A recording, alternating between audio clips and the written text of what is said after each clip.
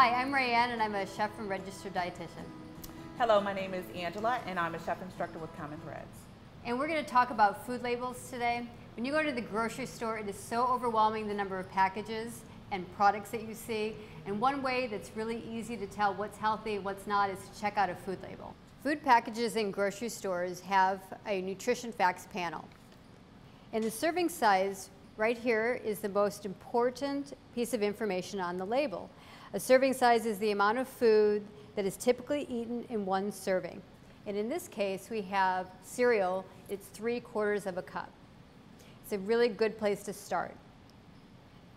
The next place would be check out how many calories are actually in this serving. So you know if you're going to have three quarters of a cup, it's going to be 110 calories. But if you're going to eat two servings, you've got 220 calories for this cereal. The next part of the label that you want to check out is the total fat, saturated fat, trans fat, mono, and poly, and the cholesterol and sodium. These ingredients you want to try to limit and not have them be really high. And usually something at three grams of fat, three grams of fat or less are, is usually something that's considered low fat and a good choice. Under carbohydrate, the thing you want to take a look at is the fiber. In this case, you want to try to buy things that have more fiber in them. It's something that that number you want to be high. Then when you keep on going down the list, the different vitamins and minerals that are listed, if the percentages are high, it's a good thing. For an example, here, in this case with the cereal, it's 50% iron, and that's actually a great percent of iron for your diet and a good choice if you're trying to in increase your iron intake. All right, so now we're going to um, talk about watermelon sundaes. So here I have this beautiful watermelon. Um, we want to pick our watermelons kind of this way. We want to make sure that it's heavy and that the white, you'll see more of the white in the, in the, on the outside of the watermelon. And then that means that your, uh, your watermelon is ripe and pretty sweet. I think very sweet. So we have a watermelon here. We want to make it sure that when the children start to cut with the watermelon, that we cut the ends off. We want to make it like a bowl. So I am going to cut the ends off of this watermelon. Not too far into the watermelon because of course, if it's a nice and juicy watermelon, then you'll have uh, watermelon sauce everywhere. And then, let's see here. I'll go ahead and cut this end off. Mm, I can smell that watermelon. Mm. Mm, smells good. Look how pretty that looks on the inside. -hmm. Very exciting. I almost can't wait to open it. All right, so now I'm going to cut down the middle. Now I like to cut to where I make sure that the sides are open. And then I come back out. Uh-oh, got a little flick there. And now I'm in half.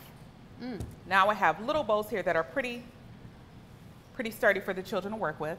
And I have three different things to show you. One is that this is an ice cream scoop. So we want to take the ice cream scoop, take it on the inside, and have the children kind of twirl it around just as if they were picking out ice cream or scooping out ice cream. I was going to say, this looks like a half a gallon of ice cream that you just I created. Know. There we go. I'm very good at this. That is no.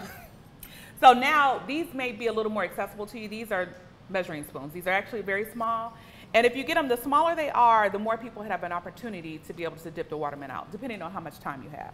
You also take it, have the children uh, cut inside, and then go ahead and scoop it out. There you have that. Or just a regular spoon. This is a very nice spoon. So we do the same thing. We stick it down, and then we have the children or you curve it to the side, and then here you are with another scoop. And there we mm. are. We have our ice cream scoop. So now um, we can move on to. Are we going to add the different toppings? We are going to add different so, toppings. So, right. So something like this is pretty healthy for you, right? Very it's healthy. Very healthy. Mm -hmm. Great source of vitamin C.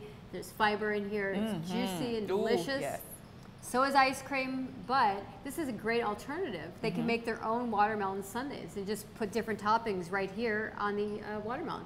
I, I, I'm excited to see what happens. I know. You know what? One more mm. thing I wanted to say was that mm. the colder the watermelon, of course, the better the dessert will be. So make sure it's nice and cold for them and have it in the, the um, refrigerator for the day. So should we add a few toppings? Please, let's do. All right. Well, it's set up. Let's see. Oh, got this yogurt. This Orange is Greek yogurt. yogurt. Mm -hmm. So let's do one more thing first. We okay. have our, we're gonna have some lime. So another thing we wanna do is we wanna have the kids work with the lime. Two things we can do. This is a Microplane. You may not have that this is okay. And we take it and we uh, take it and we turn it. But we don't want to have the children actually work with this. This is, consider this to be like a knife. Then you tap it off and then you have your zest on the bottom. But we need the juice from the inside, so we're gonna take it, we're gonna use our bridge, cut it open in half, and uh, we wanna make sure that we have a bowl. All right, so now we've scooped out our watermelon and we would like to have some toppings on top. So first, for me, I would like to add my juice. So I have my lime here, I've cut it in half, and we also have some quarters so the kids can come by and squeeze it on whenever they like to do so. So I have here some tongs. You take your lime and you put it on the inside and then you squeeze it on top and all the juices. So you don't have to squeeze it all the way because if someone to pick it up and try to do this, they can. We'll set this to the side for a moment. And I was gonna say, just like so many things in the kitchen, there's so many different ways you can do things. So if you don't have tongs in your classroom, you can just use your You hands. can use your hand, and just- absolutely. And just squeeze, because your hands are always available, Mhm. which I think is a very handy kitchen Very tool. handy, handy dandy tool. All right, and then we also have our toppings that we're gonna use. We have our non-fat yogurt, non-fat Greek yogurt, Really high in protein. Very really- good, very good. Really good, very tart. very tart, Delicious, and it would really complement our watermelon. We have granola, which is just um, packed with lots of um, B vitamins and fiber and really Mm. delicious and crunchy. very crunchy, very good. And then we have our coconut and our chocolate and our limes. Two things that are a little bit sweet but really add to the uh, texture of the dessert Mm-hmm. and just add that really that element that maybe kids love which is just a little bit of sugar but you can control it And it also gives them an idea that they're at like an ice cream bar. So they can have the toppings, they can choose whichever ones they want, and then, you know, make it make it their own because when they make it, they'll eat it. All right, so let's see here. What should we do first? um, I, for me I like the idea of starting with the yogurt the yogurt. Mm, okay. So I'll take the yogurt, drizzle it Mm. on. looks delicious Let's see here, make it a little.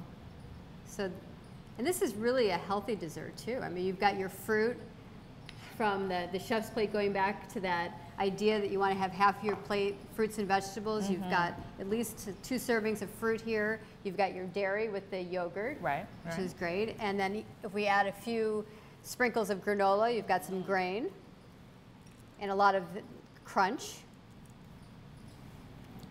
And I would say these would be your sometimes foods, like Right. your the sweetened coconut, Mm-hmm. but again, really delicious. And Ooh, maybe chocolate. top it with a few pieces of chocolate. And I think it looks like a really delicious It does. It watermelon sundae.